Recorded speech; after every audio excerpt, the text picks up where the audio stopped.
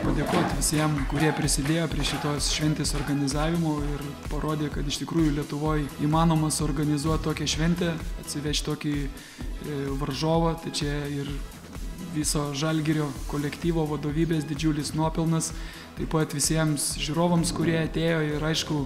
žaidėjams, komandai, kurie sukūrė tą šventę aikštį. Tai manau, kad tikrai ši šventė pavyko ir, ir jinai įsimins, nes e, tokių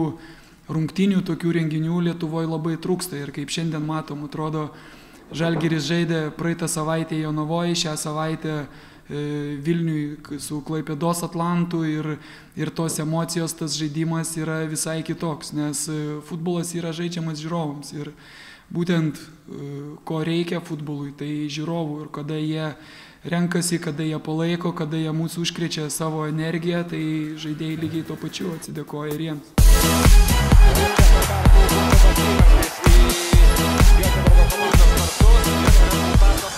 Tas draugiškas rungtynės irgi galima skirstyti į tokias, kaip, tarkim, tenka žaisti Turkijoje ar Kiprė treniruočio stovykloje, kada tu žaidži kažkokioje treniruočio aikštėje be žiūrovų, tai yra vieno, vieno tipo draugiškos rungtynės, tokios rungtynės draugiškos kaip šiandien, tai aš manau, tai arčiausia, kas gali būti, e, kalbant apie čempionų lygą. Ir e, būtent tai, kad stadione yra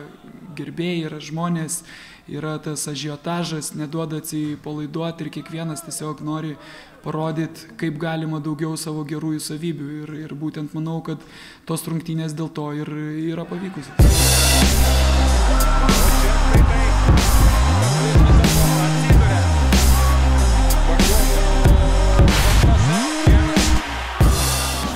Labai patenkintas tai, kad mes įmušėm tris įvarčius ir, ir tie įvarčiai buvo, sakykime, logiški, tai nebuvo kažkokie atsitiktinumai, tai buvo logiškos atakos ir mes dar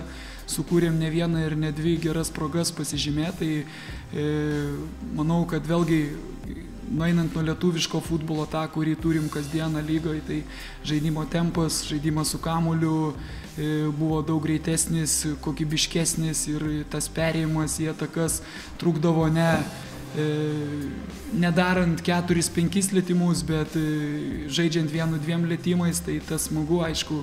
buvo, yra ir taisytinų momentų ir manau, kad leidom sukurti Göteborgui irgi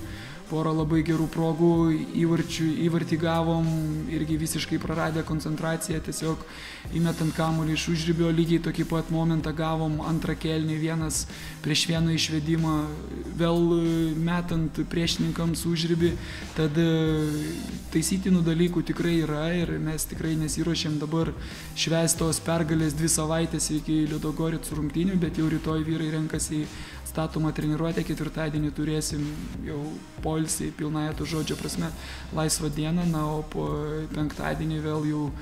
numatytas labai tikslus planas, kaip mes ruošimės čempionų lygos rungtynėms. Dar vienas veiksnys, kuris irgi šiandien, manau, yra labai svarbus, tai kad mes pirmie praleidom įvartį, bet sugebėjom įmušti trys, atsakyti trimis įvarčiais ir Ir tai parodo, kad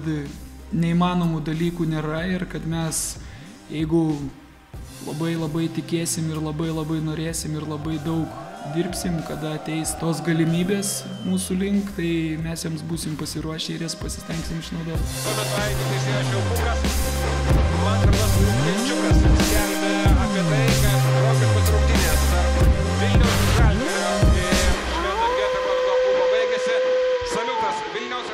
Futbolininkų garbiai šios komandos jubilėjaus proga